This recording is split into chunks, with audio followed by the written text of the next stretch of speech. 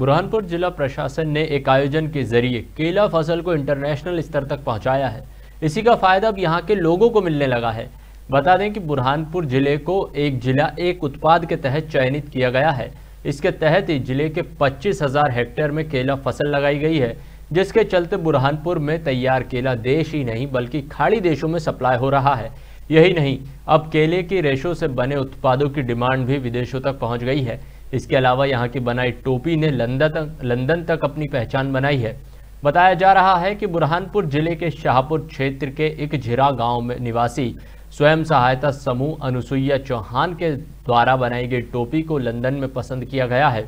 अब लंदन से 10 टोपियों का ऑर्डर आया है। इस काम से अनुसुईया के जीवन में बदलाव आया है। इस काम से मिलने वाली राशि से परिवार की आर्थिक स्थिति में भी सुधार हुआ है।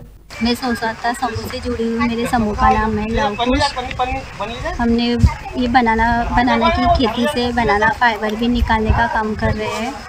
और बनाना फाइबर निकाल निकाल के हम लोग ये प्रोडक्ट बना रहे हैं। हमने ये केक बनाई है, फिर टी कोस्टर बनाते हैं छोटी छोटी की चेन भी बनाते हैं बैग बनाते हैं, जिससे हमें, हमारी आजीविका अच्छे से चल रही है और हमको महीने के दस दस से बारह हज़ार मिलते हैं जिससे हमारी आजीविका चलती है।